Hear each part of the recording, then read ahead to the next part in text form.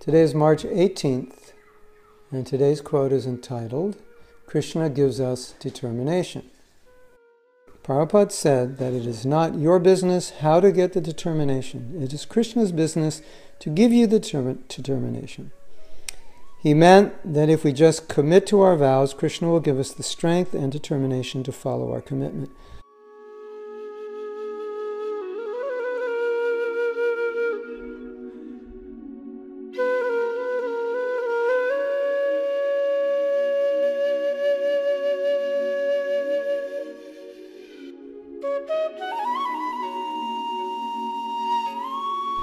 So this is very, very interesting. Devotees were asking Prabhupada, how can we be committed to our vows? Which seemed like a quite innocent question.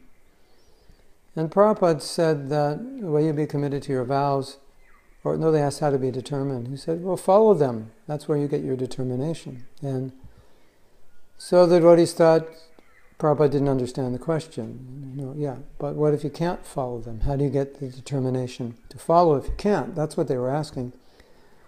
And Prabhupada was answering the, a different question, saying that if you've made a vow, you have to follow.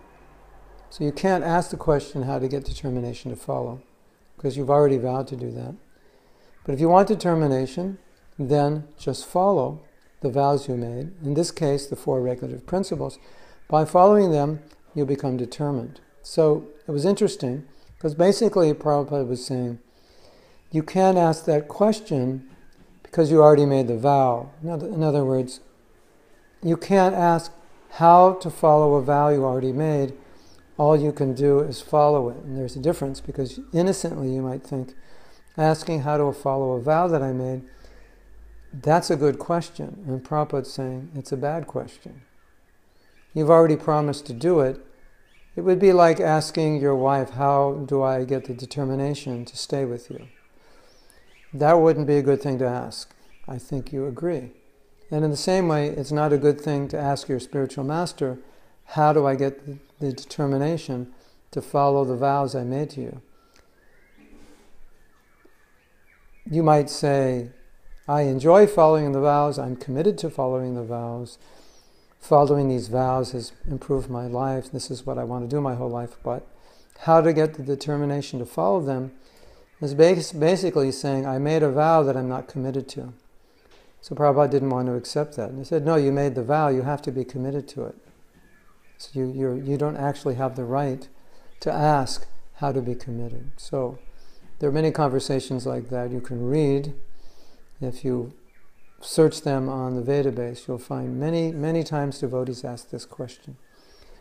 Sometimes Prabhupada got a little upset, and he, and he was saying that you've given your word, that's why you shouldn't ask the question.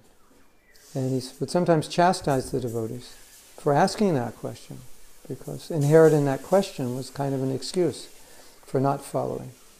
So he'd say, Look, you made the vow, if you're a human being, you'll follow it. That's what word of honor means. You've said it, so you can't ask how to follow something you've said.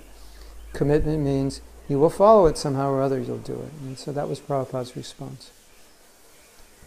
Uh, a nice meditation. Not how do I follow the vow? I can't ask that. I just follow it. And by following it, I remain steady in following it. Hare Krishna you.